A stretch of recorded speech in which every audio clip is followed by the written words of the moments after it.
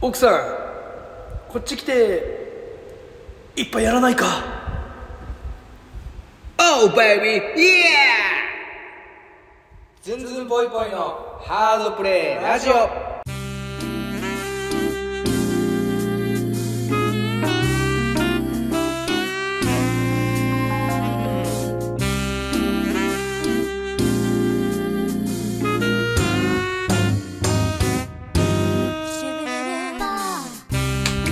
はいはいはいはいはいはいはいはいはい始まりましたハードプレイラジオラウンド16はい16ですはい16ということでございますけどねはい暑い暑いっすねまずは暑いいや36度ぐらいもうあの記録なんか記録的とか言ってますね9月の9月も終わりますよ10日で暑いわこれはちょっとあかんもう部屋だってもうだって、ね。さすがにクーラーの温度下げたくないもんもう、一応もう。ちょっとこの何日か前は雨降ったりで涼しくてクーラーつけてなかったんやけどもう今日はさすがに。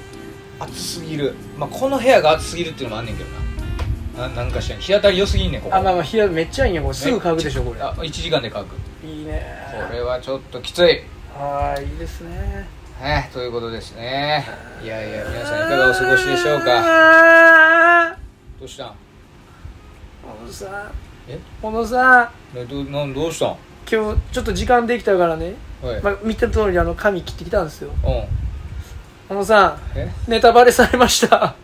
嘘。今日それよりもハゲてるっていう今言うハゲてもいるやん。いやもうハゲはもう待ってハゲてもいるしネタバレもされた。ハゲも切りすぎるしネタバレもされるしあとこの前の街頭インタビュー見ましたよって言われて芸人っていうのもバレました。もう終わりです。ずっとずっとお弁当配達員の社員って嘘ついてきたんですよ。ネタバレされてハゲてバレて。大すきばさみ大すきばさみでで伝説の大すきばさみ使われた。今日があれやねんね。見れる日やねんね。ネット見たら上がってたから。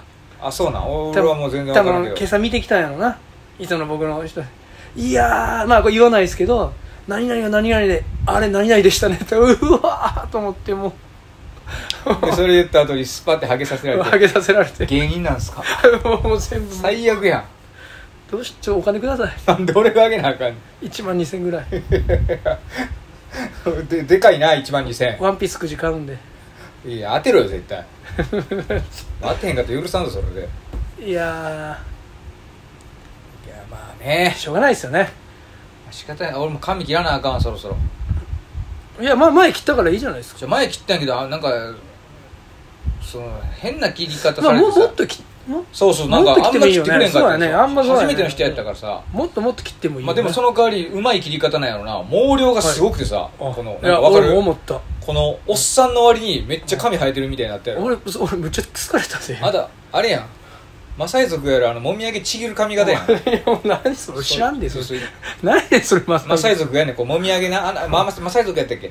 はあれラ族か。なんかどっかの部族が、はい。あのもみあげをちぎるの？あのなんかあのナイナイトああのあったらあかんっていう部族おででめっちゃエグいでやり方。こうやってあもみあげ持ってさほんでここに石当てんの。はい。あのちょっと鋭利な石、はい。でそれでうわベッて引っ張んねんて。ブチッつって、まだそれを我慢すんのが男の証みたいなことなのかな確か女子も全員やられてたよ。うわ。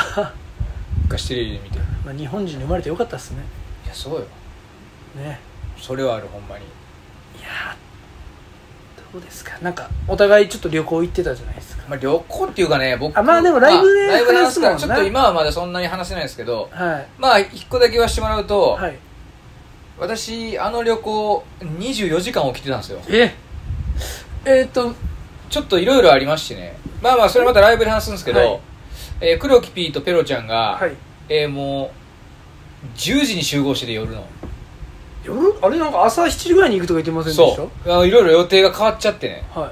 これで時間潰すとこないからということで肝活来たんですよ。夜中1時前ぐらいに。まだ営業中の、うん。はで閉店までおって。い、はい。でじゃあ待ってますねっつって、はい。俺肝活終わって家帰マッハで帰ってはいシャワー浴びたらもう車待っててそのまんま車乗って、うん。えまあまずあー、そこも行ったん、うん、そのまま橋本ちゃん迎えに行って、はい。おい秩父行って、はい。でえその時点でまだ早朝？えっ、と早朝早朝。だってその山着いたのはが6時とかやで。ちょでもちょっといろいろ予定とかが入っちゃって、はもう全部前倒しにせなあかんってことになって、はい。その代わり家で帰ってくるの早かったで夕方4時過ぎに帰あってきたゃあまあまあまあじゃあちょっと早でもなんやかんややで夜まで起きてたからはい。あの24時間その日もうわフルフルフル稼働してたよ。うわまあでもすごいいい運動になったね。山登りしたみたいですね。はい。いやまあその奥宮が、はい。そえななんていう神社でこれちょっとちゃんと聞いてなかったけど。さ散歩なんかなんかん神社のなんかありましたね。あのあれやね。橋本ちゃんとかが23年前に行ってんねんな。三峰そうかね何やったかな？三峰やったっけ？あのこの獅子頭の脇田さんとかが言ってた。これっすよね多分。この神社じゃないな。あ多分それかな。秩父市のた多分これじゃないかな。これなんか獅子頭さんとか要ストーンとかと言ってたやつやかななんか。まあすごかったよ。これ多分すごいあれなんですか？本部は9時からしか開かへんねやんか。はいはいはい。だからもう奥宮行こうとまずはいはいはいはい。その一番最初できたっていうところ、はい。山ですよ。いやそうでしょうねこれ見る片道限り。片道1時間半歩いて。うわあら。あもうすごいよ最後。ーほんまや。最後どこにあるか知ってる？そのすごいな。あの奥宮。どこにある？最後岩の上にあんねん。うわすごい。だからね鎖で登っていくねんな、はい。すごいね。だからもう階段とかじゃないねあー。んもう必死に鎖掴んで岩登って、ご利益ご利益があるってことですね。じゃあまさにその頑張った。まあ、僕はでもキリスト教やから登ってみただけっていう。まあでもその登るだけでも多分パワーもらえますよ。すごかった。もう汗だくでねはい。もうその日はつくくたくたでしたよ本当に。みんな筋肉痛多分。いやーいいねまあまたそれはライブで話すのもね。ライブで話します。だからここではその、えーこの放送の次の日のライブがな CC ステーションもそうですね。ありますんでね、また CC のライブが終わったらまた話すと思います、まあ、台風が来てるみたいなんですけど。え？2223がちょっとこのままいけば。なくなる？でも黒木さんめちゃくちゃ対黒木ピンめちゃくちゃ対策書き上げたで。はい。ライあのお芝居。あ本当ですか？肝かすで書き上げるというね。お前そうやって。これええの？その家でしっかり書くもんじゃなくて肝が出できるもんなんですか？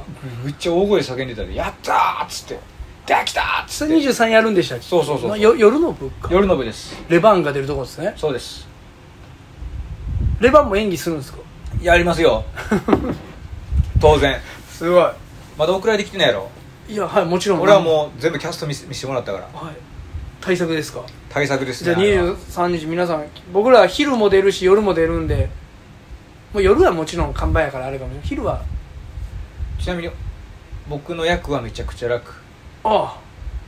やっぱ橋本ちゃんでしょ？あちょちょっとあいや違う。あ主人公とかも違う。おお。かたこれだけ言わせてください、はい。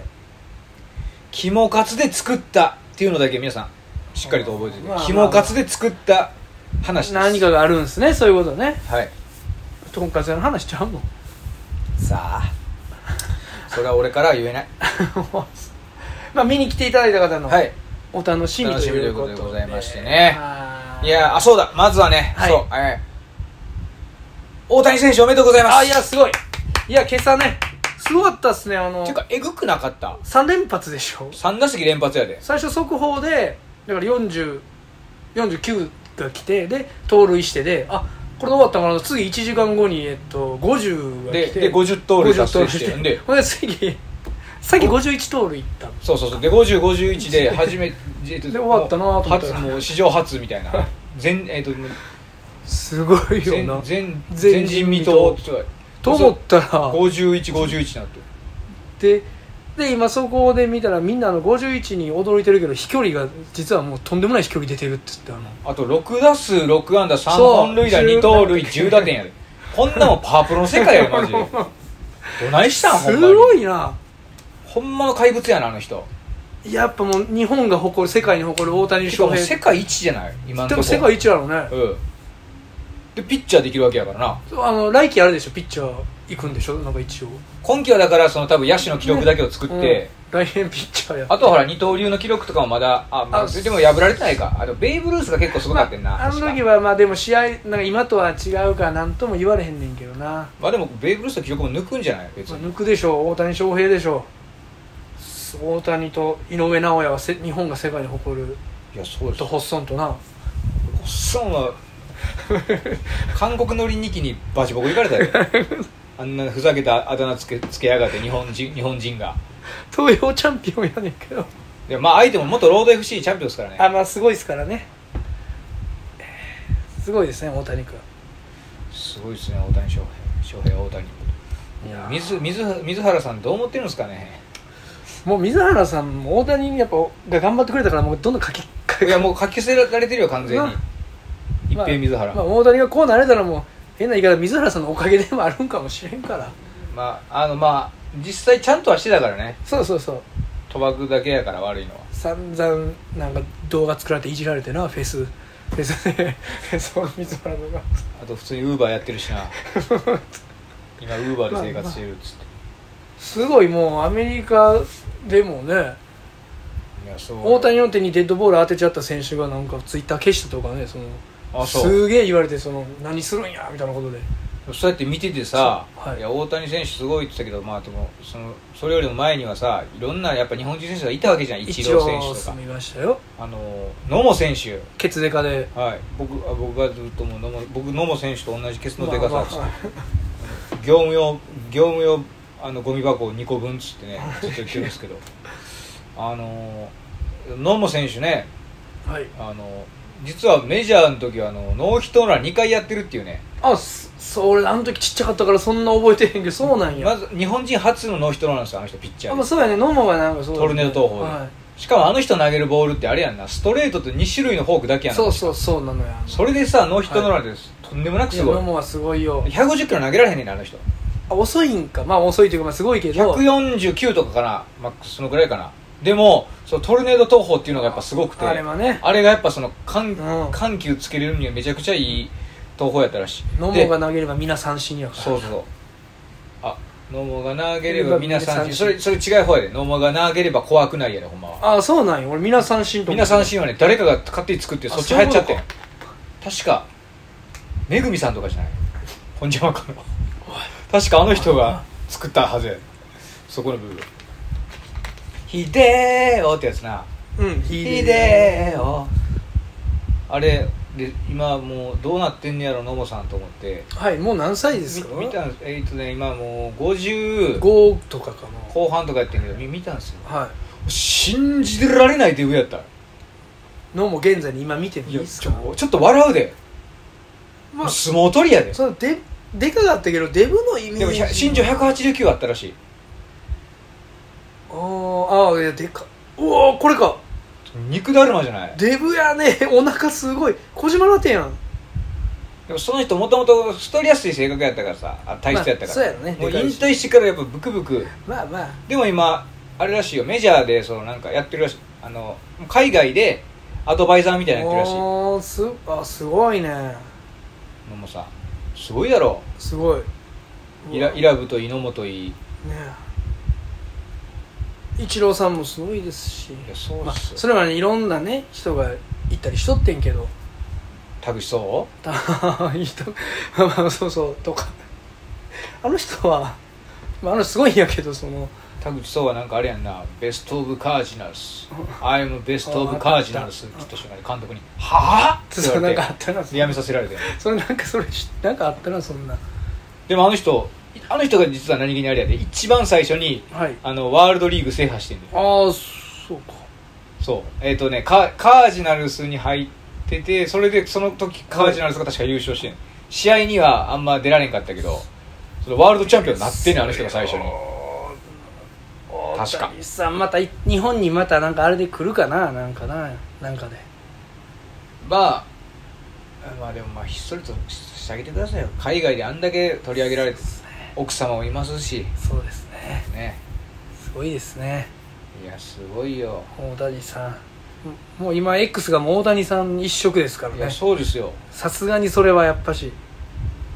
大谷さんと兵六さん？兵兵六さんもまあすごいね。兵六さんもね水ダウですごい。であと木村稔さんでね。あと京極さんもね。京極さんもあれそのたまにね。あれ結構おるなじゃあとえー、土岡さんもあったで。ああなんかあのあれ上がってたな土岡さんトレンドに。あれあれやんな春彦やんな。あ今日はい。多分。あと堂前さんも上がりました堂前さんしょっちゅう堂前さんや。であと何か分からんけどしょっちゅう上がるのが週に1回絶対上がるのがエバース。おおそう。エバース週に1回必ずトレンドに上がってくるななななんかしてんの？エバース。どんなの堂前さんは多分ね昨日のあれなのよあの『アメトーーク』で今日あの録画したの見たいんけどあのもうノブさんがベタ褒めやってドラフト会議みたいなのやってたのほんで1位が堂前やって。多分それ何のでドラフトなん？芸人ドラフト会議って自分がこの番組やるとしたら誰を呼びますかみたいな。毎年や毎年がこれ3年ぶりなんかな？おもろい企画なんだけどそれで堂前やって堂前の逸話がもうすごすぎて。でノブさんがもうお笑いでいうあの悟空と一緒じゃっつって。なんかそのすごいあいつはっつってねみんなも「うわそう堂前はすごいのよ」って言ってお笑いに関してみたいな言ってたのその堂前さんになってるんやけど。でもそこの LINE の人らみんなすごいやん。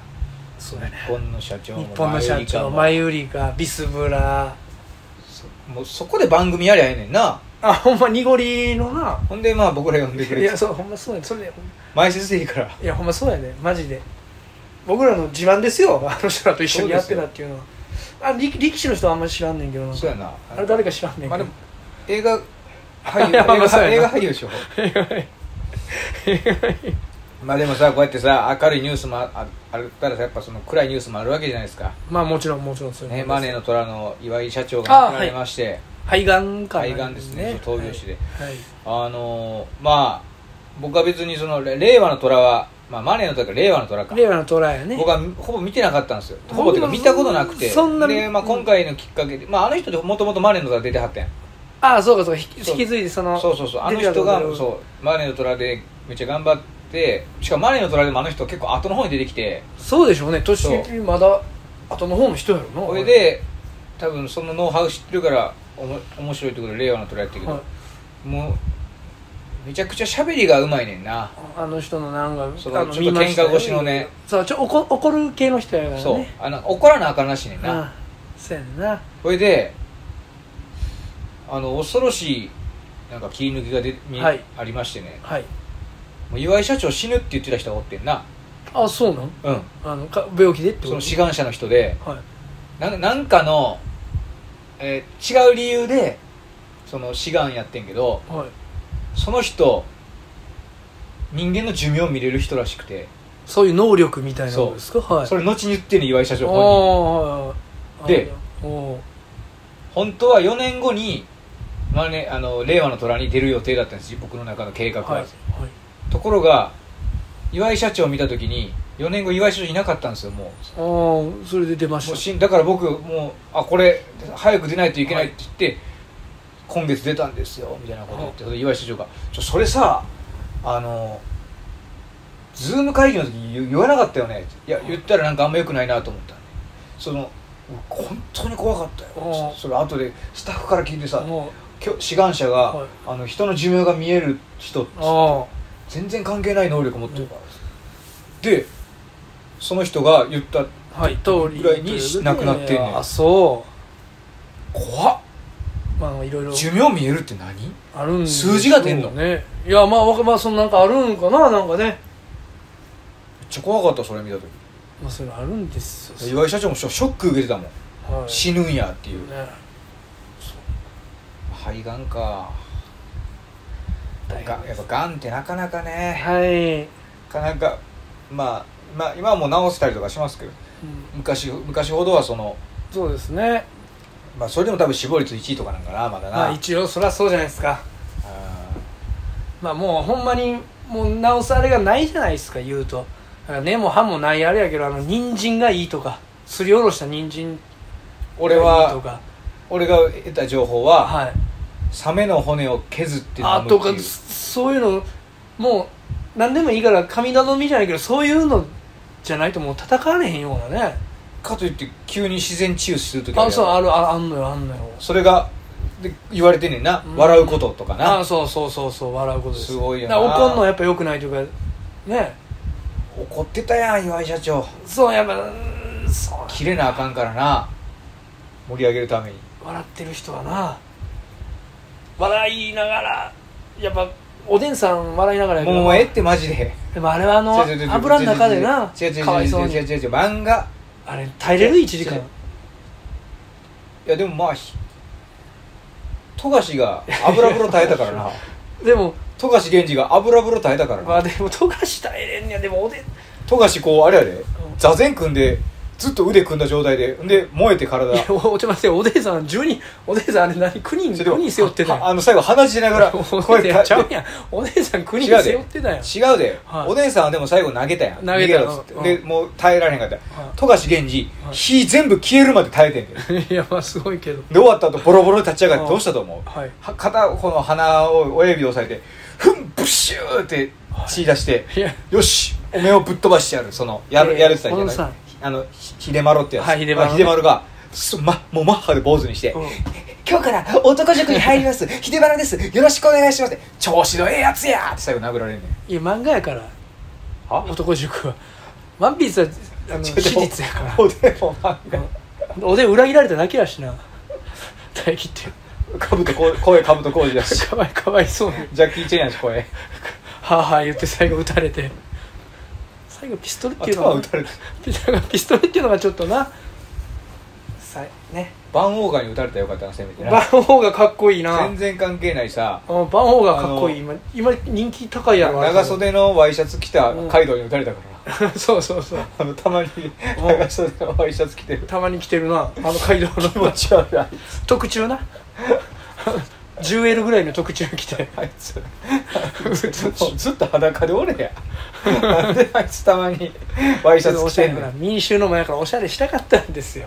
胸元上げて。街道さん。しょうもないあいつ。街道さんおしゃれしたかった。嫌いよほんま。ちょっと若かったからあの時まだ。あ若かったからさおしゃれしてる今も。20年前今もそういう概念ないからすぐ裸なんてすぐ裸になるよ。裸だって竜になって。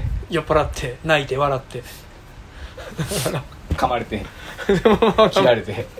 かわいそうやなかわいそうやあの人。リンチされてるずっと。あの人全員にスナッチーズ全員に刺されてたよ。リンチやんあんなもん。もう69とかやからね確かあの人も。いやそうやで。顔あ見たあれ。何ですか？岩手のさはい。あの閉店した居酒屋に来たおじいさんの動画。ああ見たよ。あのすごかったなあの人。じじいやろあれ罪なのらしいやあれな焼き鳥がなんかあれやろ。やばいって。俺あれ全部見たけどすごくなんか最後めっちゃしばかれてたやろ。て店長。じゃじゃ違う違うダメだダメ。だパガーパガー。パーって最後あのカバンで顔バー。ンいいやつ。でその後いろんな店でめっちゃ暴れたらしくて、はいはいはい。何件か被害届出してんけど、はい。あの受理されんかったって。あの理由は、うん。えー覚えてないって言われたから、はい。もう無理やねんて。あ。老人が覚えてないって言ったらもうそれ罪にならんねんて。そういうことね、うん。まあ、言ったもん勝ちやんほな。まあでも寄ってそうやったなめちゃくちゃ。まあでも老人やったら寄ってたうん寄ってそうやったらもだってめ入り口と違うとこ、うん。出口と違うとこ行ったよなかうん目の焦点が合ってないというかもうさスタッフスタッフルーム入ろうとしてたもんな。そうですね。全部の椅子倒してた見たあれ。いやもうい見ましたよ。もうめっちゃ流れてきたもんあればっか。めちゃくちゃ嫌やったわ。あ赤鬼思い出したもん俺、あでもあんなんやったよまあ、赤鬼はでも暴れんかったからよかったけど、まあ、赤鬼はちっちゃかったから暴れたって言って僕力ずくで押さえつけれんねんけど。いやめっちゃおもろかったのがあのさニュースがまずバーン出た時にさ、はい。あのリプリプランにさはい「その人知ってます!」ってきやってああ。来てやってる人はい。本当ですか?」ってこう、はい店長さんが来て「今日ライブがあったんですけど僕僕ライブ終わりだほ今日僕ライブがあったんですが」つって。なんかライブなんかバンドマンか知らんけどライブそそのライブ中にずっと「ブラボーブラボー!」って手を叩いてたんですそいつ。絶対間違いありませんですぐに自分でまたリプして「すいません間違えました。何やねん人違いでした」それ何やねんそのおっさんなんやねんいや俺ちょ別にさライブ見に来てくれてさう。ん曲あって「ブラボー!」とか別に嬉しいやん。いや別にええやん別に。なんで怒ってんねんそいつ。別にそれはええやん。勝手にその誰のリプも待たんとさ「すいません人違いでした。待ってなっちゃったんかな。ネット怖いですねそうやって」怖いよ。でもこう平和なニュースもありましたね。あの船釣り大会で船一匹も釣れずってなんか。ああいうのいいっすよね。船釣り大会。それどどうどうなんの？でもどうなのな。俺らはみんなも。主催主催者とかいるわけでしょ？なんか小地方のニュースで大バズりしてこういうニュースばっかったら嬉しいなっていうけど主催者からしたらいやそうやで多分もしかしたら賞金とか返金とかある？分からんけど。どうなんやろな？まあ、まあ、今年は優勝者なしとかで あのエントリー費だけもらえたりするのかな。どうなるんやろうね。まあでも釣りやからな。運やからな。それは確かに。その釣り堀公園とかやと取材者が用意しとかなあかんからあれやけどそういう海とかないとちょ俺も分からんけど川かなんか分からんけ船やったら川よな。どねえ。船釣り大会で船行って船おるとかやったんかほんまに。いやまあそれそのそうちゃんとリサーチはしてたのかそこ？そう実はどうなんやろね。全然おらんとこで。他の魚釣れたんかな？ブルーギリとか知らんけど。もうそれはカウントされへんと。はい船船はおるんやったら、まあ、ブルーギルとかも一緒やな。まあもう何でもええやんけどそれでも。川魚いっぱい釣った人まあ大会途中で帰ることはできるのが趣旨よ。そうなんですよ。あのーま、あ前話したさキモスムに今あの日本語喋られへん外国人入ってきたはいはい言ってましたね。ちょっとね結構問題になってまして今。なんでですか？そのまず前前確か話したのがはい。あの責任者はい。の人があの韓国の人で。はいはいはいはでその人が結構日本語危ういいはい。はい。で新しく入ってきたベトナム人の子はほぼ日本語喋られへん、はい日本語危うい人が日本語喋られへん人に教えるっていうのがまあ地獄やみたいな話を、はいはいはい。多分選手したと思う。はい。これがねなかなか地獄でねはい。あの全然伝わらんのよ。見てたら。ほうほうほそしたらねめちゃくちゃその優しい人だったのよその、はい。韓国のあの責任者の人。うはい。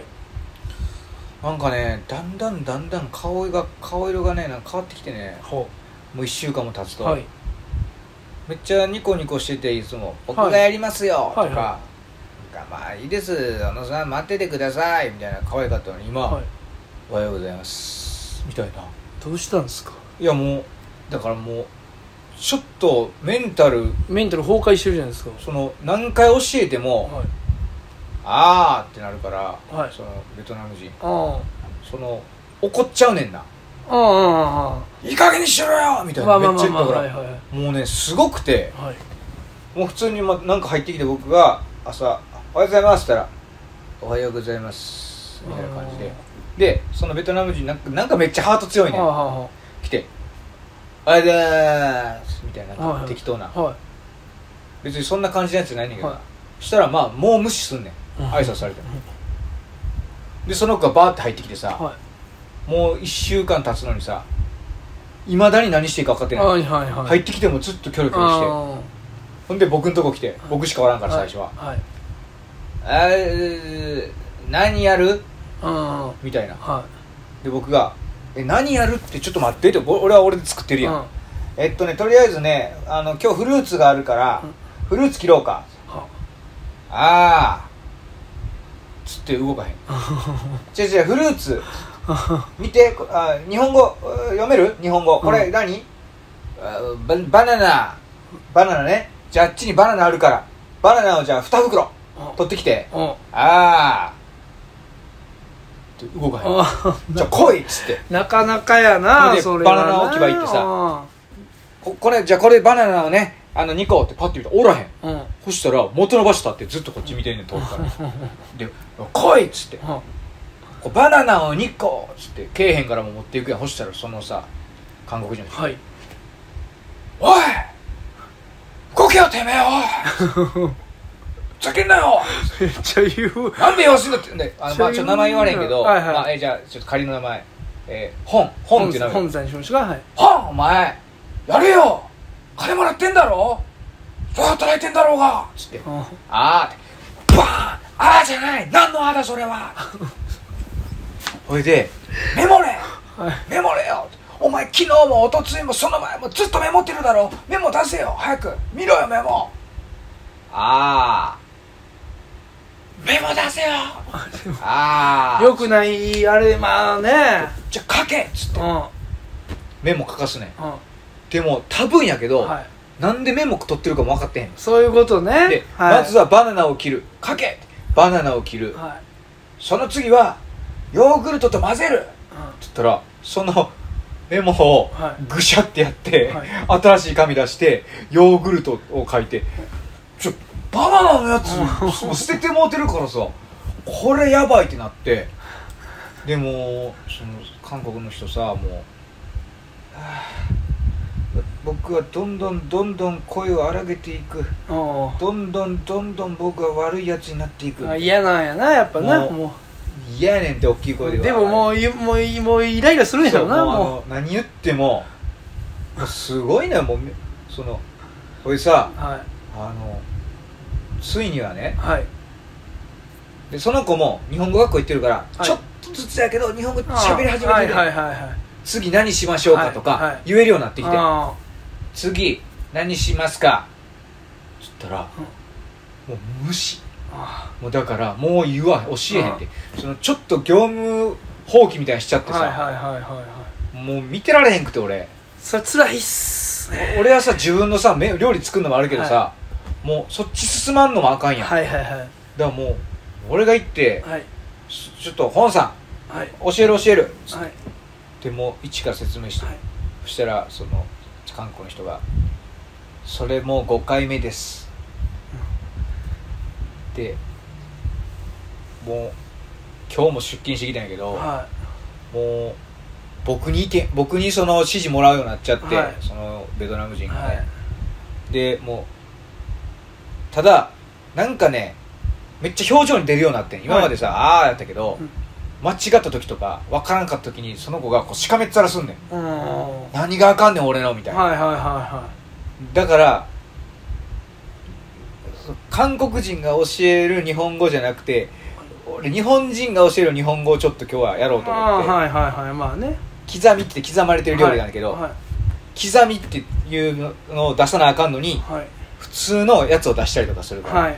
あなた刻んだでしょっつってら、ううん。ーってオッケーっつってトントントントントントン。と、これ何してるか分かる？っつって、えーこれが刻むということうんつって、うんはいはいそのはな何をすることが刻むかとかそしたらもう全部そのさ韓国の人見ててさ「小野さんは優しいですね」つって。いで僕はいやあなあなたが怒る担当だからうん。僕は怒らんようにするっつだから今日めちゃくちゃ教えてだからおおかげでめっちゃ残業もしてんけどもうそしたらさみるみる顔色良くなってさ韓国人、あこれもう今度から小野さんに任せようみたいな感じになってて、まあまあまだからいつもさもう疲れてるからさ「おつかお先失礼しました」「お疲れ様です。ありがとうございます」やったのに今日はさ「お疲れ様です。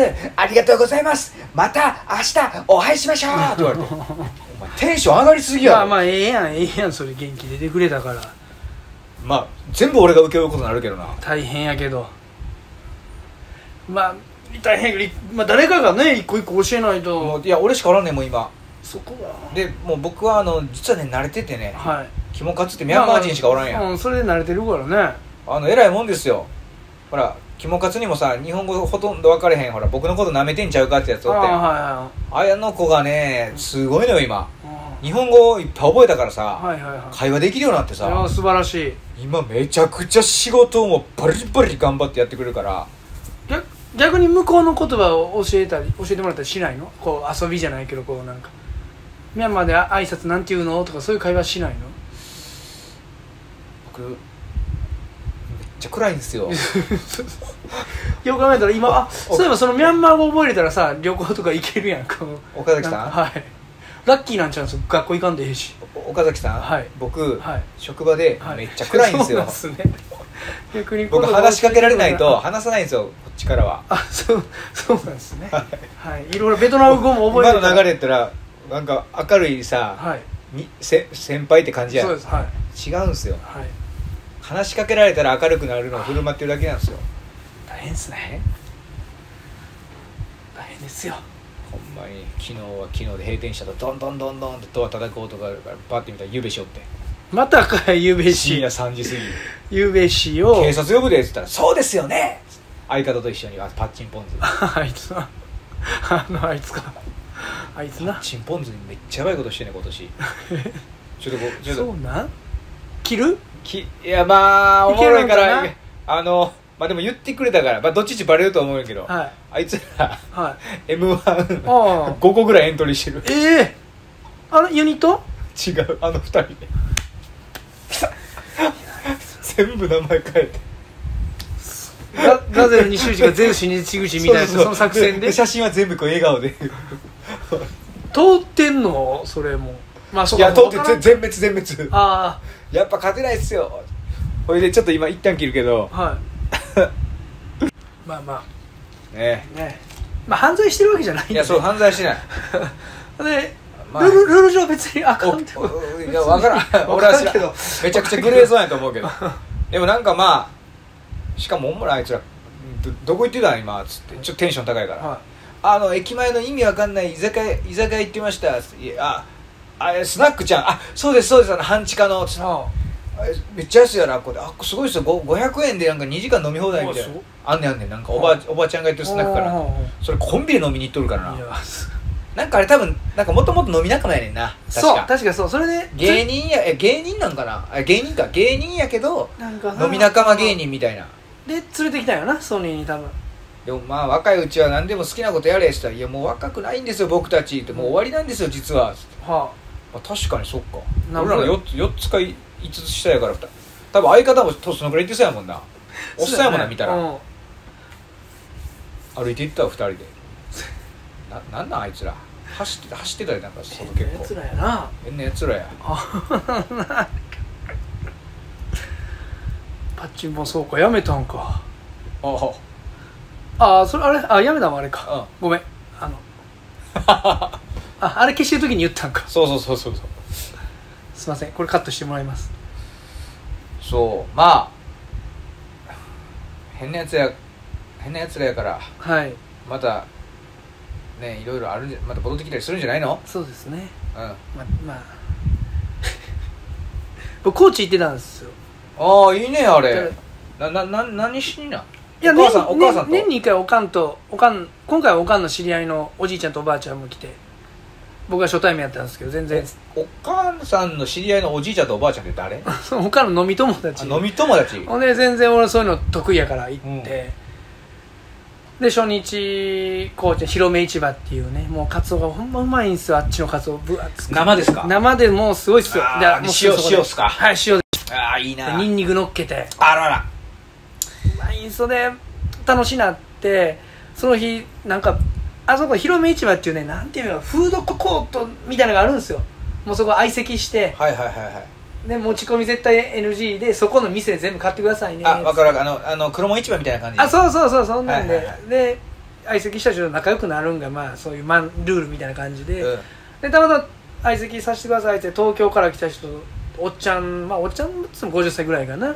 仲良くなってわーって喋ってて、まあ、おかんも調子よくなってで僕も調子よくなってあの僕3人兄弟でみたいな話して。でおかんお姉ちゃんはね同い年に生まれてるんですよとか言って。でその50歳の人も「うわーすごいじゃん。めっちゃ1年で頑張ったんですね」って「せやで」とおかんも言って。だから僕がノリで「もしかしたら今日うちのおかん貸すから4人目できるかもなおかん」っつっておかんが「いやもう全然濡れへんわ」言うて。るんです最悪。いやー言ってみんなで。もう楽しゅうてーじゃないよ。笑って。ほなもうキャバクラ行こうとか言われて。でおかんらも帰ったんよでて。その人が「あえほんまに行っていいんですか?」で俺金ないっすよ」ってあ「えあ今日の会社の営業費用出てるからおごるから」っつって「ほんまっすか?」っつってなんか2軒ぐらい行って朝方まで飲んで。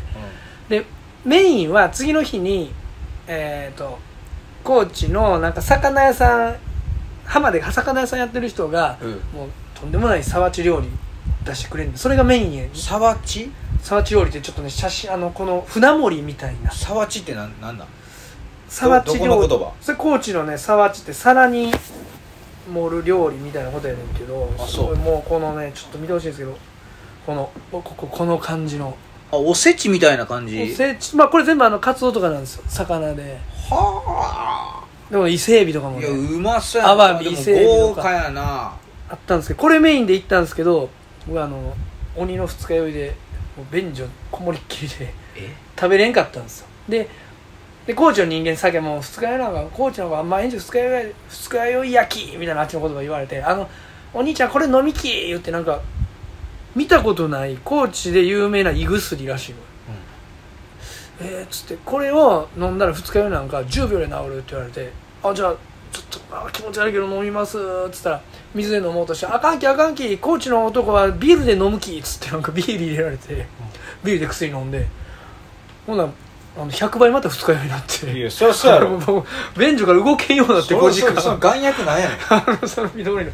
合ってるやつなんかそれ。で俺便所でずーっとこうやって出てこられなくてもみんなゲラゲラ笑って「これやけ大崎の大阪の男は弱いき」言うて「いやこれ強い弱いちゃうやろ」思って。その弱い男やの太郎は。もう最悪でしたよ。それなんかはばばば話進めてたけどはおお母さんのもうちっとも濡れへんわ。キモすぎんねんいけど。おかげおかげそういうもう70前でしょ。もう66かな。濡れへんやろもうへえよーっつって。あかんあかんっつって。あかんあかんちゃうねん。あかんあかんってね。喜んでたおかん。もうここんななんかバカでかいすだちチューハイ何杯も飲んでたで。お母さんは二日酔いになってない？全然、うん、やっぱあなた弱いんすね。いやまあそうやろね。ちょしかも調子乗って飲んじゃうから。しょっちゅう MD, MD してるじゃないですか。MD してます。はい。よよう考えたら。調子乗りやね飲んで。ほんで次の日ゲロ吐いて。ゲロ入ってもうしんどかった。もういやもう飛行機でも気持ち悪いし。最悪ですよ。2日目。でい一泊だけして帰ってきた。はい。と泊まったところはホテル？ああのあの高知でもねその昔天皇陛下様が泊まられた超高級ホテルをお母さんが旅館を取ってくれて。ええ。お母さんのお金で？お母さんのはい。おまああの旅費は自分で払ってあとは全部あのおごったるからっつって。旅費払ったんや。旅費ははい一応旅費ええでっつったけどまあまあ全然旅費ぐらいは先に払っとけよっつって。かっこつけやがって。親には甘えるもんやぞ。まあでもその分飲み代とか違う違う。全部払ってもらうねん親に。飲み代とかすごいあの飲み代を払ってもらうのは当然、飲み代はい。宿代も払ってもらうのも当然。な。往復の交通費もちょっと多めにもらうね。ん、まあお車代言うて。知らん人にキャバクラもおごってもらったし、キャバクラのガールズバーもおごってもらったき向こうの人は可愛かった？あ向こうの方ですか、はい。あガールズバー。あいやでももうみんな同じ顔してましたねその。どういうこれそのコーチの人ってそのほんま似てるんですよ。僕の感覚あねんま良くないこと言い方いやこと言ってない。よまあき綺麗ですよ。綺麗ですよ。可愛い。あの あのねこんこここんなんラジオで、まあ、ラジオで言ってもええかその僕があの10年ぐらい前お付き合いしてた彼女がコーチの人。あーはいはいはい。もうみんなその頃に似てんねんほんまに。あじゃあまあ綺麗か？綺麗そうそう。ちょっと気の強い綺麗な感じの顔。絶対その子の顔ばっかじゃないやろ。いやこれほんまこれちょっとでねめっちゃ似てんねんほんまに。あそはい。これ結構コーチに詳しい人おったらこれ当たるだから広末涼子さんとかは俺があれコーチの顔じゃないと思うよ全然。う広瀬涼子さんはコーチなん？あのコーチやねんけど全然あんな顔じゃない。もっとねなんて言えばいいんやろうな。綺麗は綺麗ですよ。でも気の強そうな顔。もう10年10年前11年前あの子も酒強くてな堂前によう絡んでてまだ売れてない俺あんまちゃんと顔覚えてないけどちょっと釣り目。そうやねそうやね。であのいつも濁りで一番前でギャグ4人で来てくれたやろ。俺なんや目悪かったこれ誰一切顔見て俺太郎に一回写真で見してもらったぐらいやわ。山本プロ野球が「た彼女いつもギャル4人で前来るやんけ」って言ってたの。いつも前で来てくれててなもう今やお子さんも2人おって幸せに暮らしてるみたいで。あらええこっちゃ、はい。その大阪に暮らしてると言ってました。はい大阪なんや。は い大阪で。高知帰るとか一時言ってなかった？言ってた。うん。なんか大阪であの結婚相手見っけて。ええ子供生まれて家買うて暮らしてるみたいですよ。ええですな。ええです。みんな幸せになって。だよ我い々は何すか東京に来て。やでも自分も幸せっすよ。幸せちゃうやろ。大すきばさみでハゲにされてネタバレされてで芸人で暴露されておもんなかったっすね言われて。いやもういやそう思んなかったですねと。隠してるんでしょ相方に出 出たこと。をいや言われたでしょ言われどうてそこまで言われてないっすあの。まあでもあの人とはほらあの陰謀論仲間なんであの人は何回も言うけどあのワクチン打ってるか打ってへんか分かるあのスカウターみたいなあのアプリ持ってるから。もうそんなん今更どうでもええわ。もう今もうこのもうあ何年前の話やねん。今打ってよう打ってないからどっちどっちあでもええわ。ネタバレされた何にもならんわもう今や。ネタバレされましたよ。まあこれあ、まあ、これの出る頃はまだそうやね。まだ分からんもんね。確か今回火曜日発売やからまた。ジャンプなんとかやと月曜日に見れる。あジャンププラス？ジャンププラスはい。ネタバレネタバレさせてくれでも鬱陶しいな。シャバさん、まあシャバさん？向こうは俺が見てるもんやと思ってんやろ多分。それも言ったらよかったよ。僕見てないんですよ早バレ。いやもうなんか言えんくてああとででもネタバレのまあ概要聞いたけど面白そうやった。あれ？ちょっとね多分ね話それる感じなんで。多分見てるでしょ？あれ？今週号あれは違う？違うか。あそれ見てへんわ。俺知らんわ。で今週号のラストは見た？あの波だけの描写になんねんけああそれは見た。どそうそっからの。そそっからの続き？それがまあまこう起きたらあれ？みたいな。あそう。それが結構おもろいというかまあまあ。いや俺あの時のその周りのま世界観でちょっと何か分かっあ。たもし当たってた当たってたらはい。こういう顔して。ああいいっすはい。片栗。あ僕もねそう思ったんですけどね。あそっか。あのね。ああのあいいいいいいい、はいいいはい。あ違うそのリアクションは顔だけにしてな、はい。合ってたらこういう顔してな、はい。ドアドアの実？違う面白いでしょ？いや僕も片栗と思いましたあれ。え？そのさじゃこれやめよう思んないよ。やめよう。これさ俺らが勝手にさ、はい。予想だけするはい。の思んなさすぎるやめようよまあ話聞く？聞いた感じだと面白い感じになりそうな感じでしたね。そっか。まあヒントまあヒントはもう考察家も言ってるけどあのほらナミがお酒飲んでたやんであんま飲みすぎんなよその酒って言われてたやん。あのうんあれピンクスお酒か。みまあ、ピンクスの酒とは出てないらしいけど、まあ、そのあれが特殊な酒であれの効果ちゃう。まあでもその今回は分からんらしいよ。あれのせいかなとは言われてるらしい分からんわ。まあ分かったととてや。はい、まあ、面白いらしいです。ね。あそうや。言っとこう。なんすか？ああ、あのーそうや。あのー公開収録ね。公開収録。皆さんすいません。あのベニズルでやる予定やったんですけどベニズルがね埋まってて。全埋まりでした。うん。やっぱ12月ラストってことで、メンズ石橋が全部借りてる。違う違う違う。それあのあ間違ったスケジュールな。そうかそうか。そうちょっと無理でもうもうそのねもう12月の末しかなくてしかも時間指定が結構狭くてそうだからちょっとちょっとやるには浅すぎるる時間だったっていうのがあってしかも平日だったんですよ。でちゃんとこれみんなもだからちょっとあの続報を待ってください。あの場所変えてやるもうちょっとベニズルさんではもう正直できません。はい場所があれやっただからでもまあ公開収録をやりたいなということでできれば違う場所でちょっと探そうと思うんで、はい。ちょもうちょっと待ってください。来週大阪行ってそこでちょっといろいろ交渉したりなんか聞いてみます？大阪の人らに。今の大阪がもう分かんないんでこういうのあるよ、まあ、ステムさんとかに聞いたら多分あここやと安いよとか教えてくれると思うんで。普通に白芸でもできそうやけどな。うんふと思って。そういえばあれもそういえばハブゲームやったな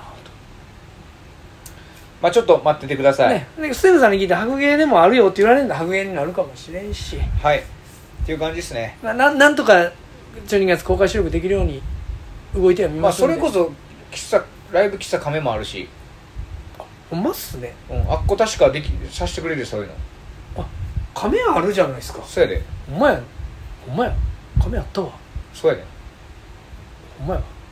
亀がいいんじゃないですかね。あ のやりやすいし。打ち上げもできるし。もう連絡もめっちゃそうほんめっちゃ忘れてたわ。今ベニズルの連絡取ってたけどちょっとなんか変わってんのかもう取れんようになっちゃってていろいろ間にあの親友のメテオ井上に入ってくれたりいろいろ動いてくれてたんやけどよかえたら亀ありました？ももっともっと近い兄貴がおったよ。で亀聞いてみましょうか。そうっすね。ほんまや小野さん。忘れてましたわ何やホッソンの話ばっかして。いやお前や細の話ずっとしてたあごめんごめん俺一切聞きたくないのに。東洋チャンピオンやで。東洋太平洋な何やねん東洋チャンピオン。って東洋チャンピオンやであ東洋水産と勘違いしてんじゃん。れ同い年。同い年は同い年。ねということでございますね。はい。さあ。亀ね亀はみんなもじゃあみんな向こうの人はもちろん知ってるめっちゃ来やすいんじゃない？この前あの去年かミリガンさんとかとやったとかやんな。そうそうそうそう。そうあの玉造りっすね。ねあといいっすね。あれいいっすね。まあ、近くに飲み屋がないのがちょっときついねんけどな。だからまあ、ね。か亀で でも亀でさ打ち上げさせてもらうってなったらさ、はい。また島 島中さんがさ一人で残るパターンになるやん。申し訳ないけど。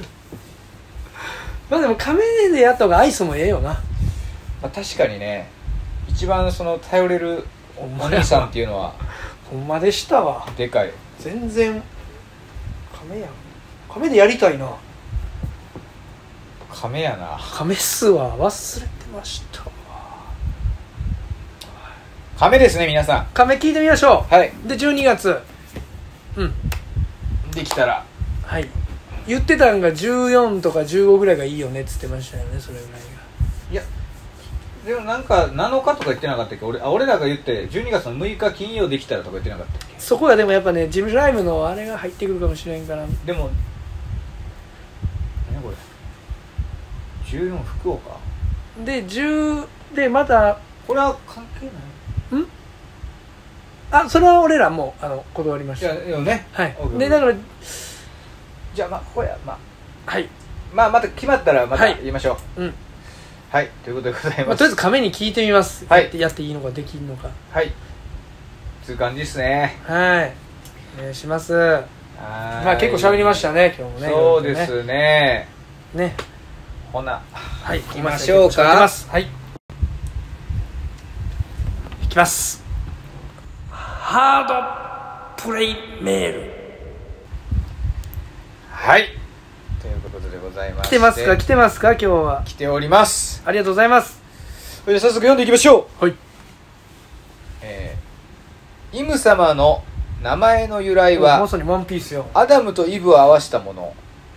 ほうほほううほうほうほう。ほ悪魔の実は禁断の果実。そしてワンピースとはイム様がかつて追放された楽園のこと。うお要は旧約聖書をなぞってるわけやね、はいはいはいはい。まあまあねオマージュって言うもんね。この考察を当時世界で初めてネットに書き込んだのは私なのですが、うん。ごちゃんのすれ、うん。ほんま？ほんまに？後日三流考察 YouTuber に見事パクられました。うん広告収入よこせ。すごいな、ほんまこれかほんまやとこれほんまにすごいよ。我らが石丸太郎さんがあれが石丸太郎や。小泉進進次郎の神奈川11区から出馬。うん。公開討論会をた申し込むみたいですね。石丸は性格ゴミくずでも、頭の出来と口のうまさだけは本物なので、うん。早くマイルドのおじきと同程度の知能指数しか持ち合わせていない進次郎が公公の場でフルボッコにされるのが見たいです。いや小泉進次郎。煽ってんじゃねえよ。出た。自民党。うん。煽ってんじゃねえよ。出た。レインボーのネタをパクった YouTuber お何それ。煽ってんじゃねえよ。そそういうのあったんなんか。わからん。レインボーのネタパクられたの？質問うん。実際リルちゃんは一体ギャルさんの何を煽ったのでしょうか？まあまあ言った通りですよ。差し支えなければ触りだけでも教えてくださいハードプレイネーム、はい。ズンポイゴーセックスさん、旧約聖書の今やねこの考察 YouTuber みんな言ってるけどほんまにズンポイゴーセックさんがごちゃんに書き込んで やとしたら相当すごいけどどう思います？審議どう思います？どう前審議はどう思いますか？イムってなんか他のなんか言葉なかったっけ？まあほと仏っていう字やから神様とかいろいろ言うけど。なんかあのゲームのやったっけ？ワールドネバーランドでもイムっていうのがおったよね。あーそうやったっけ？うん。まあ先生基本全部オマージュでやってるっていうから。ななんかあんのかな？まあ仏様って書いてイム様。はまうん。あ確か。え？ってことは戦国が関わってくる？あだからそれはちょっと言ってる人もいる。仏の戦国関わってくる？うんあいつの身だけ謎の巨大スーパー巨大化して。だいやあれめっちゃ強いよ。なんか出してたよなんか。エネルギー張って全員振っていやあれめっちゃ強いと思うよ。で元帥やからな。ちょちょあいつなんだ？いやわからんよあいつ。なって。物理的にさうん。仏様になってさ。そうなのよ。衝撃波打って。幻獣種だからなんかあるでしょあれあれ幻獣種な。わからんわからん幻獣ロギア？なわけないか。あれなんやねん。幻獣種仏ちゃんモデル仏幻獣種イムちゃんもしかしたら。まさかの。今ヤギと一緒にせんべい食ってるだけやからな。はい隠居してます。えー、ディルちゃん一体ギャルさんの何を煽ったのでしょうまあこかれラジオで言った通りなんだよなんか。な何をっていうとだから最後も じゃあで喧嘩を煽ったってことか？話終わりにしようなみたいななって。でじゃあ一緒に帰る？いやも一緒に帰るんかよ？あんたら。大丈夫か？ってなって。う、うん、ああ全然大丈夫ですよ。当の昔にこっちは切れてるんで、うん。でディルちゃんが言ったら「煽ってんじゃ。じゃ煽ってんじゃねえよ。いやそもうそんなもう鳥肌実るやんほんま49歳役年はい懐かしい。煽ってんじゃねえよ。今考えたら39歳役年野茂野茂さんぐらい太ってるよな今。あディルさんですか？違う違う違う違う。誰ですか？鳥肌実さん。あ鳥肌実はもうめちゃくちゃ太ってますよ。ディルちゃん痩せたな。ちょっと痩せたな。こ心なしか。のはいうん。あの時見た時。ね。まあ何を煽ったかっつうとまあけまあかかってこいみたいな、うん、あ折り合いでしたよ。はい、ずっと。どっちもでも陰キャやから殴らんからね絶対。ね。まあいいですわな、はい。もうまあまあもうあの済んだ話ですから。はい。ね。そうまあ考察しっかりややみんなやんねんなこうやって。やっぱ楽しい。楽しいもんなのか？うん先生が僕らに与えてくれた楽しみなんじゃないんですかあれが。俺はもうああるものを読むことしかしないから。まあまあうん嫌な人は嫌やもんね考察するのだからまあこ基本はそんな見ないですけど。うんなかなか見えへんよね。ねはいということでございます、えー、ズーポイゴーセクスさんありがとうございました。ありがとうございます。さあついていきましょう、はいお願いしますいやーやっぱうん。さ、ココーナーメール復活させてほしいですーナわーメール？お題考えるんだるければ定期的にお題募集コーナーやってリスナーに考えさせたやつをストックしとけばええし、なんなら普通のラジオみたいに3つぐらいのお題を半年ぐらい週替わりでこすり続けてもいいし、俺はさ、うん。ハードプレイ10箇条決めたりさ、うん。ハードプレイ掲示板で爆災みたいになり合ったりさ キメラボディ作ってハードプレイしたりしたいわけよ キメラギャルとキメラディル作ってハードプレイローションプロプロレスさせたいわけよ。最近ね、ジャンプではヒロアカと呪術廻戦が終わって、終わったんや。呪術はあと2回かな。ラスト2あそう。はいもうラスト2です。ヒロアカ終わりました。あそう、はいヒロアカと呪術廻戦が終わって、うん。朝倉未来の引退と平本の一件で日本の格闘技界も終わりかけててあー。生きる意味がどんどん減っているんですよ。ほ今はもう人生の楽しみが、うん。ハードプレイラジオと小ヤッキーチャンネルとチャンネルね。ガチホモの怪文書を読み漁ることしかないんですよ。そうなんやねんガチホモの怪何やそ文書れめっちゃ面白そうやんけ。ガチホモの怪文書ってなんやねんそんな情けない毒人間のためにうん。コーナーメールの復活を考えてもらえませんか？はい。はい なんかこのメール書いてて不安になってきたけどそもそもコーナーメールってそんな面白かったっけ？およかったよかった。急になんかやっぱ。よかったよかった。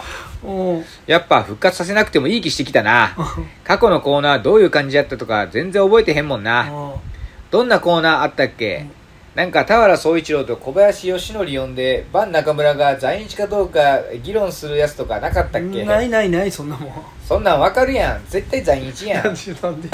別にそんな。せやのに太郎さんだけバン中村古代ユダヤ人説で戦ってましたやんそんなしてましたか？バン中村がブドウ農園を経営していることと旧約聖書でブドウがイスラエルの象徴であることとの類似性を指摘してましたやんか。そうしてないっすもんバン中村が風俗の無料案内所も経営していると指摘して人々を無償で導くという意味ではキリスト教も無料案内所みたいなもん言うてましたやん言ってかないっすけど。ほんで最終的に出た結論がうん。飯田正成ってうん。結局何やったんでしたやんか。あそれは合ってますね。合ってるよね。飯田ま飯田さんは何やったんよ。質問。記憶に残ってるコーナーやコーナーメールはありますか、はい。ハードプレイネームババアのゲロさん、はい。PS、えー、陰陽の法則から考えるとフワちゃん消えたってことはクリス松村が戻ってくるってことですか？違うんじゃないですか？クリス松別村さんもに別に戻ってくるとかじゃないというか。クリスさんどうなってんの？なんか途中からめっちゃ太ってなんかもうごつい、ねで背低いあの人。そうやね。ごついなんか肉の塊みたいなのが たまに真っ黒いおったな。おかおかまキャラやし。そうオカマキャラやな。えーと記憶に残ってるコーナー？ー。いやもうそれはもうあれですよ勝負飯ですよ僕は。あわかる。もう僕は勝負飯だって僕が思いついたやつやもん。勝負飯ずっと批判され続けたけど。ずっと勝負飯だけを。俺は勝負飯だけでよかったよ。いや絶対そうやって勝負飯だけでええって。勝負飯行こうとしたらもうプチピストンバーニングガールとかもよかったけどさ。ああ俺あプチピストンいいな、全然覚えてなくない？うん、全然覚えてない。なんか一個だけ覚え出してよ。何でもいいからプチピストンダメよもう言ったから。あと勝負飯以外で。あと毒人間ファイターズもなしね。なんかパチンコのやつとかもやったし。あった。うん。台作るってやつな。パチンコのやつもやったし。な何やった？あとえ？恥ずかしくてなんでやってたんか辛かったやつあるやん。2個1個いい？うん。ズンズンぽいぽいみたいに言うな。ああはいはいはいはい。あれ恥ずかしかったやろ、はいはい恥ずかしかったっすね。もう一個ありますやんか。なんですか？ズンぽいフレン。ズあありましたね。恥ずかしあかったでしょ？りました。結構いろいろやってんねそれだって相当やってたじゃないですか。めちゃくちゃやったよ。あのギャルさんが出してくれたそうそうそう。過去やりましたようなやつで。一番長かったんがあれかやっぱし毒人間ファイターズか。戦うやつちゃう毒人間ファイターズね毒人間ファイタかーズでしょ一番長かったの。まあ10か条とかねあ10か条もやってたね、うん。ハードプレイ10か条はやらんでいいやろ。はい。はーいって。やらんやんけじゃあほんまに。はい。やらん方がいいでしょ。やらんでいいよ。でしょ。T シャツ作らなあかんでしょ。はい。全然売れへんやん。そうやねん。次 T シャツとか作る時はなんかしらね俺がええ感じで売れてちゃんとちゃんとオフィシャルのラジオ出るとするやん、うん。今みんな出てるやんオフィシャルのなんかちゃんとねそういうので作ってもらわんともう自分らではなあ。まあ、自分らの方が儲けれる確率は高いんやけどなほんま。うまいことやれば。まあねでもそんな儲けっつってもな。まあ虹さんに聞こいやいややらんでいいグッズはどうやってう売り上げ上げるんですかってまあそれはもうあれじゃん。バンバン作ってバンバン売るしかないんちゃう。まあであの人も全ての会場に持っていくもんな、うん。俺らそれができへんわ。うん。できへんやろ、うん。それできへんやつはなやらん方がいいね。そはい。リゴも頑張ってやってるやん。リゴが持ってきていつうも確かにな。いつもいつもまあ俺らもう売る。る T シャツないっちゃないけどな。ないけどそのなんやな。まあよもうそれ受注販売でいいと思うけどな。やるならば、まあもし作るとしたら、うん。まあ作らん。うんおお多めに作るとかじゃなくて。ねまあこんなん言い出してほんまに作らなあかんことになるからややめやめた方がいいな。小野さん作らんよえ作らんよって俺が言う作らん靴下え靴下あ靴下は個人的に作るなんや個人的にってハードプレイ靴下ハードプレイ靴下いいんじゃないああまあすずりとかで作れるんですか靴下は聞いたことないなまあ作りたかったら全然あの断末さんとかよう作ってるやんすずりで。じあまああれはめっちゃ簡単。でもすずりじゃあれやねん。なんかどうどうにもならんねんて。でしょだからもうまああの作りたい人が作って。まあベースじゃないか？やるならば、まあ作ってほしいっていう要望があればやけどそんなな。うん、まあななないでしょう。ん。はい。ないです。う ないらしいですね。まあ僕はもうあの単独ティーがもうあれがもう嬉しいんで。俺どっか行ったな。単独ティーをああやってみんなが来てくれてるのが嬉しいんでもう僕はもう満足ですよ。嬉しいか？とりあえずは満足です。そうか？いつの日かまたもしねなんかそういういい自分らの記念ライブがある時にまた作ればいいじゃないですか。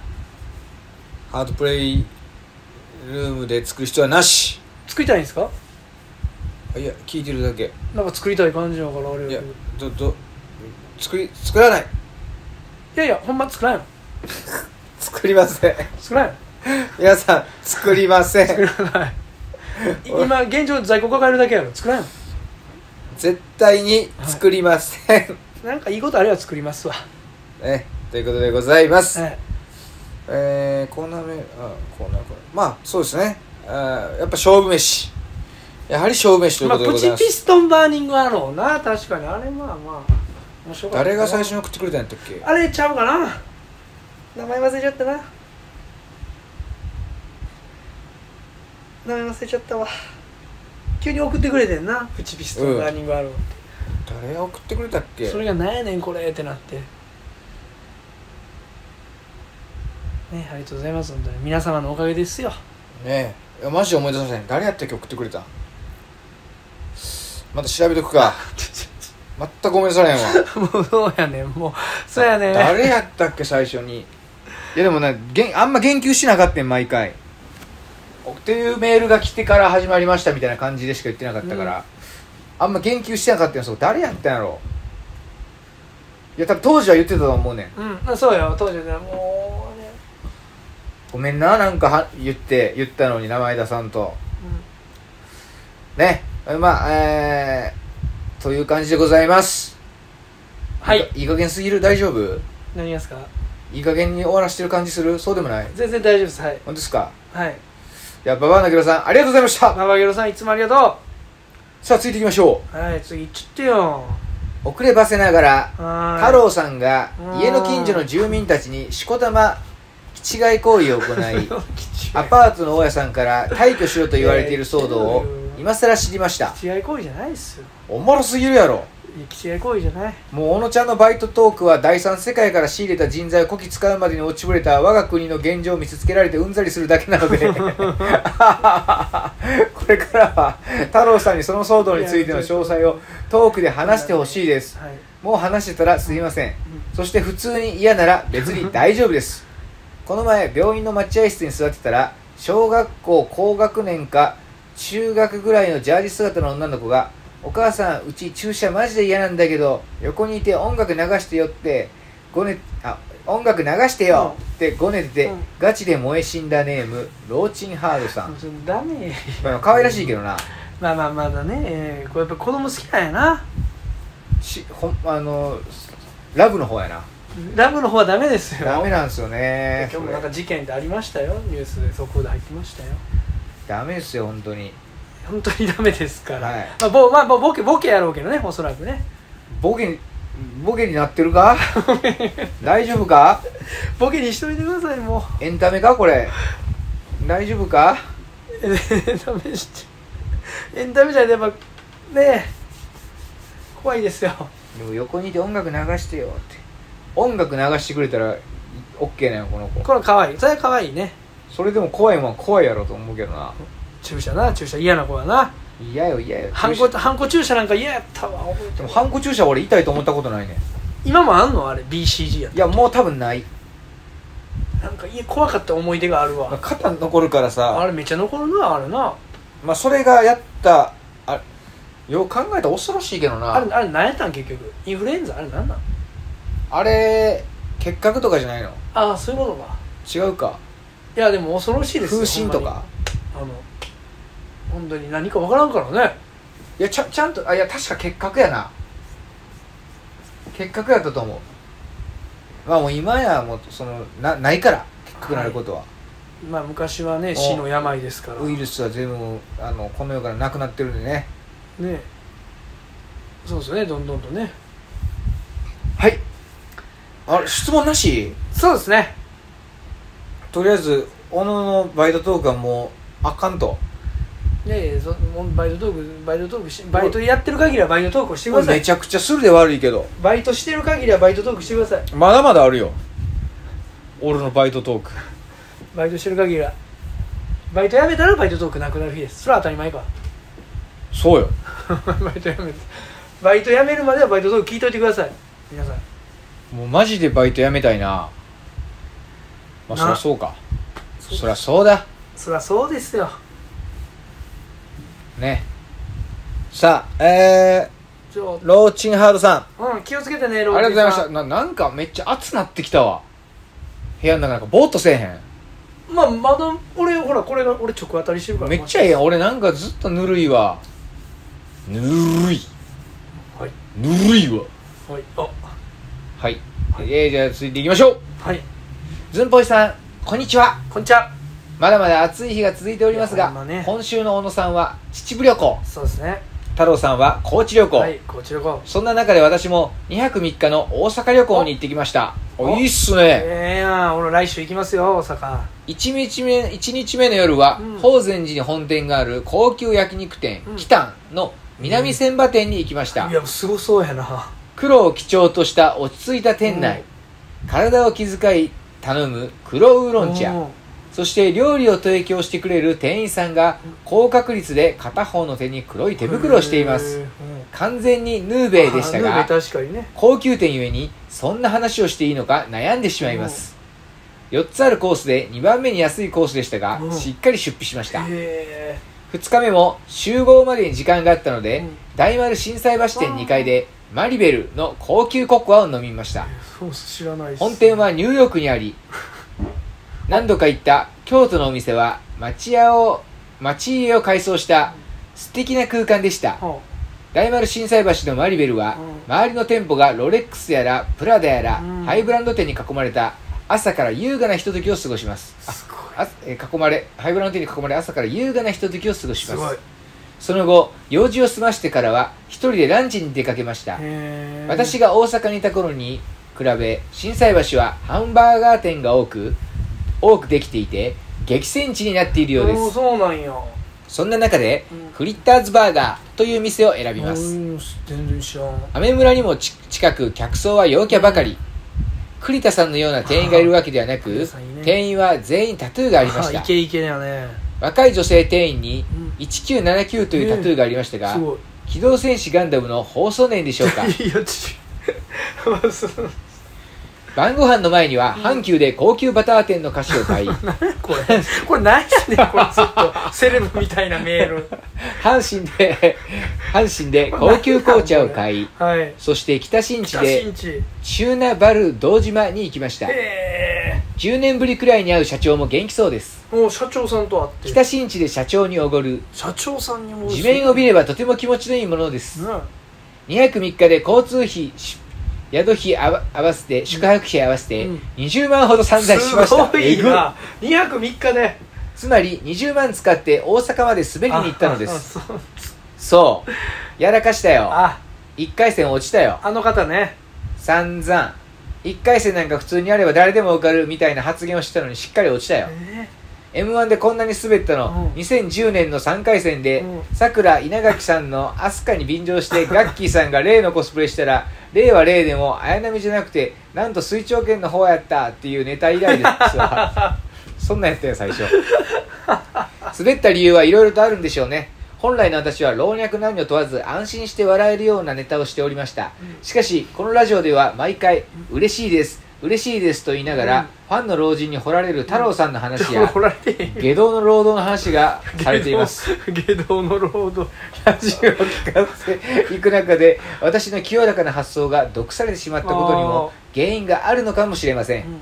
場所は大丸心斎橋劇場から名前の変わっただけの劇場です。あそこですね。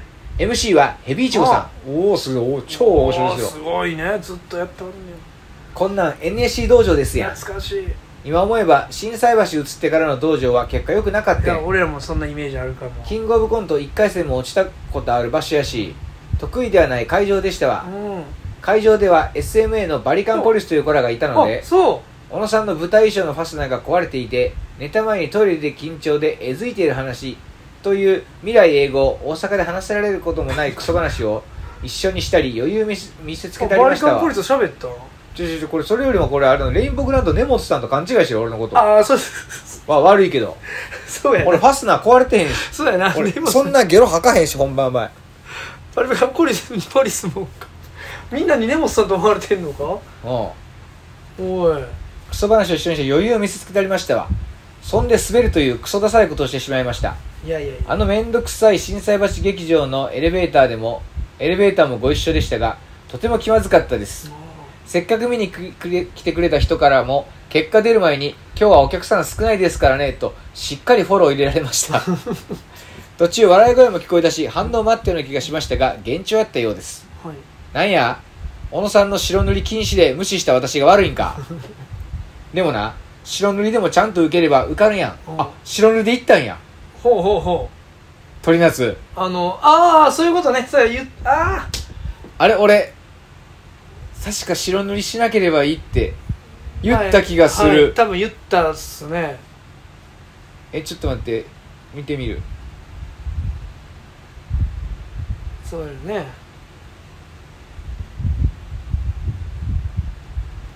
うん言言っている？はい。言っている？言っていたのか、はい。ああんまこれだけじゃ分からへんな、まあそうまあ言っねはい。オッケー。ごはい。めんなさい。はい。無視した私が悪いんか。ね。からはい。でもな、はい。白塗りでもちゃんと受ければ受かるやん。はい。滑ったけどね。ちゃんと舞台でた舞台で試さんとあかんことなんて元から分かってるのに改めて感じましたわ。インディーズ禁止してるのほんまに愚策いやですね。そうやろね。ほんまそういう人らもいっぱいおると思うよ向こうでは。もうね今年は決勝で松本さんの代わりに審査員席に名前を言ってはいけないあのカウスがしゃしゃり出てきて最悪回として後世に語り継がれたらええと思います。ここはちょっと。一回戦落ちなんて山岡さんの鮎みたいなもんですわね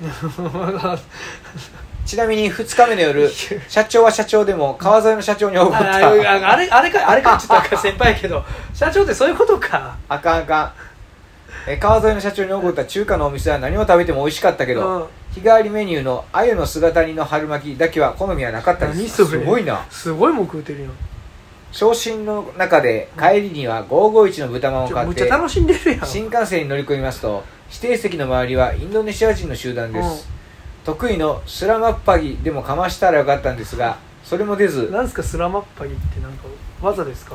わからん。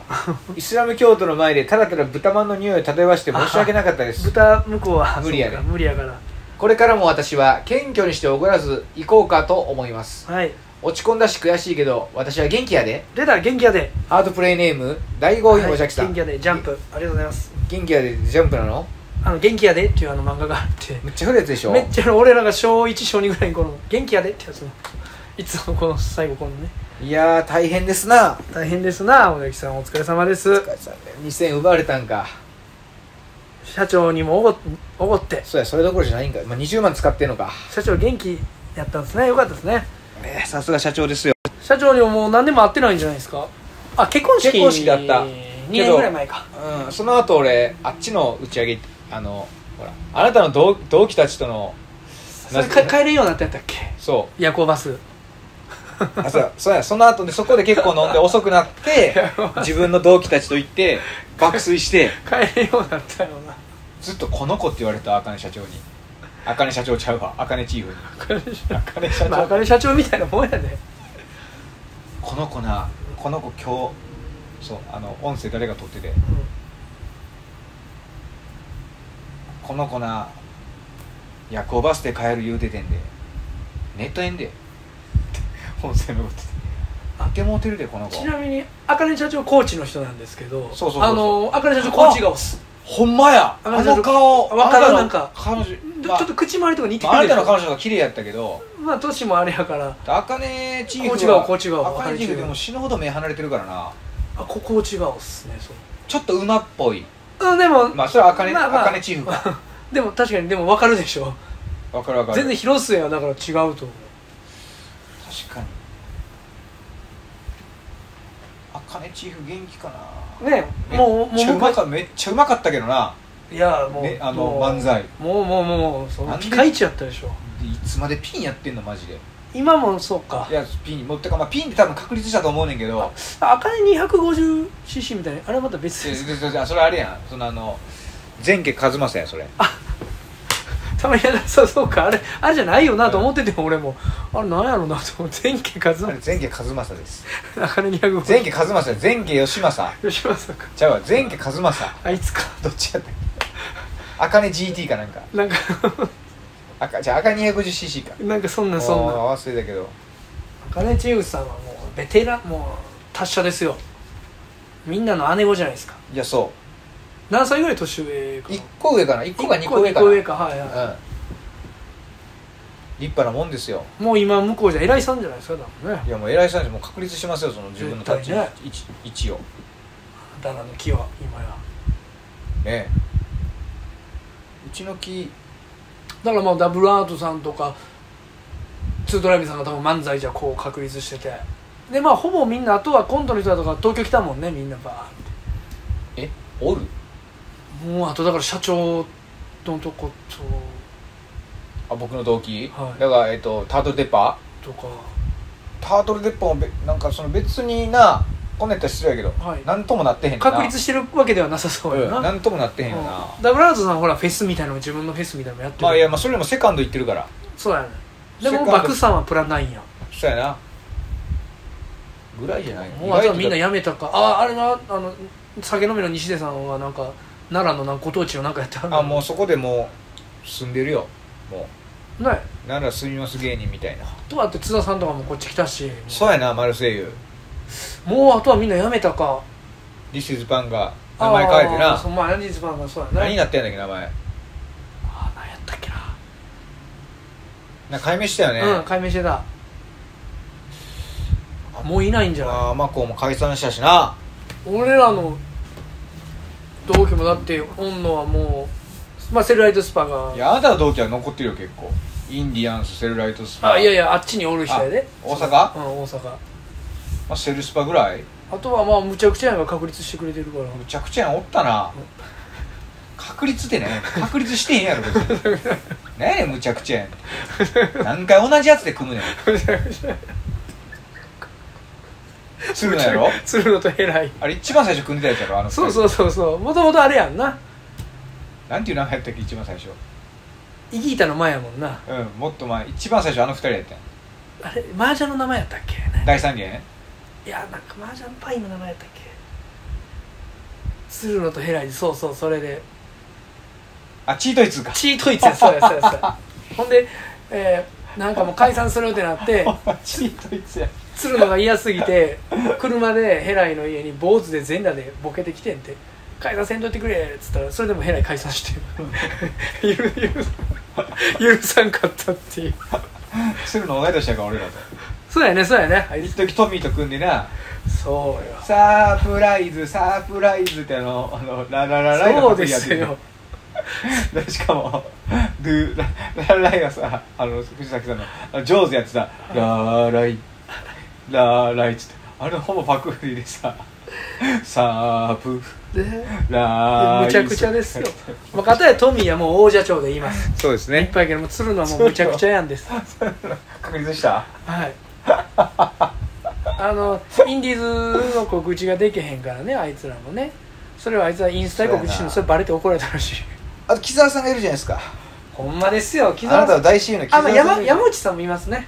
あほんまや。今度 NHK の予選決勝行ってましたよ。ていうかなん毎回行くよね決勝。そうやな。山内あのとこすごいよな山内のとこすごいよな。ななんちゅうコンビやったっけ？大阪クレオパタ。大阪クレオパタ。ねスタミナパンも出るみたいで NHK 決勝あ決勝行くん行ったんや。にうわすごいな。え全員長ない芸歴？う んそうやね。そんな短くないよね。そうやね。いやそうやね。多分他の人らは多分相当若い。でしょ？そうやろね。結成10年以内とかでしょそうやな確か。スタバンもスタバンも言ってソニーから結成なんかなあれだから。そっかそっか。まだ7年とか。いっぱい出れるわそっか。まあ何気に結構おるなまだ大阪に。でもまあほとんど。まあ。でも30期さんはでももうほんまに結構きついよ。あんだけおったのに。うん。大大阪阪おる人は。もうだってあとデレクとかも。ああデレクさんね。で福ちゃんも福田セカンドも。ああ福田さん。あれあの人と組んでんあの29期さんと組んでんけどもうどう活動しようかどうかも分かんない。2か月ぐらいこの間気になって X 調べたけどはい。2か月ぐらい更新もしてないポストしてなかったわ。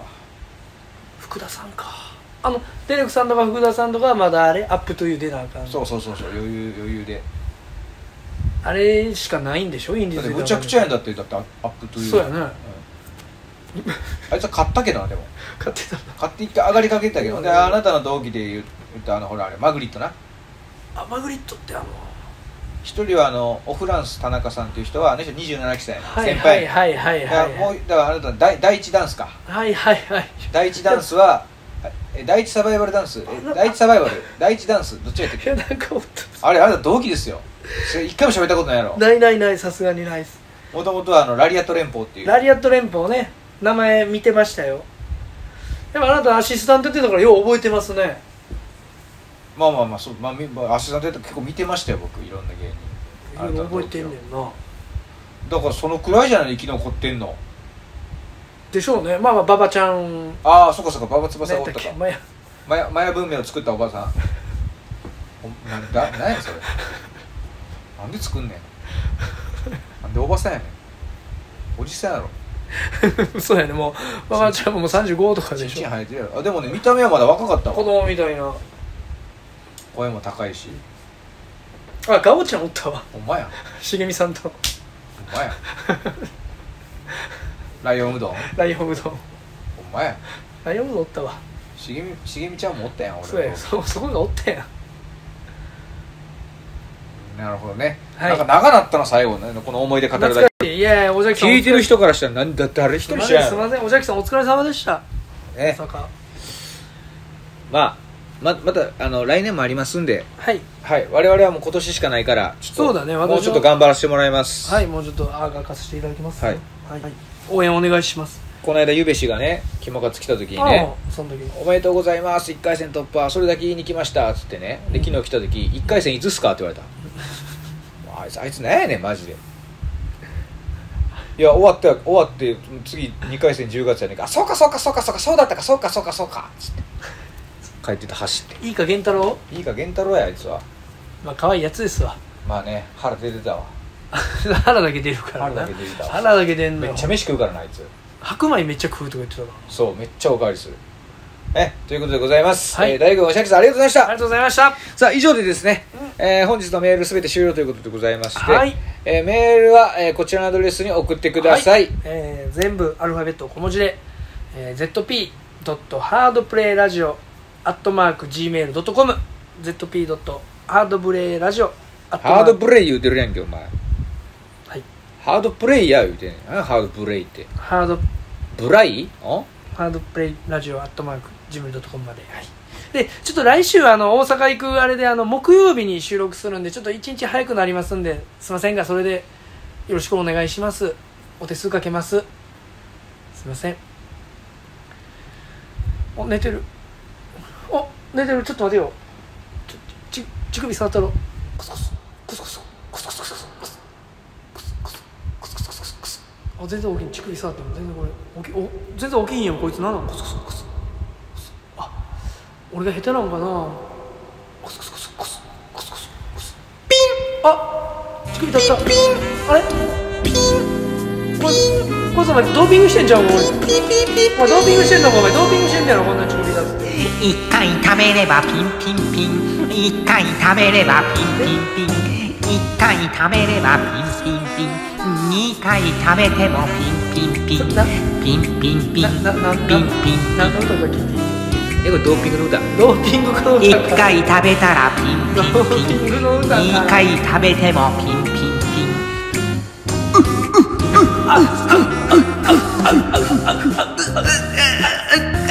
一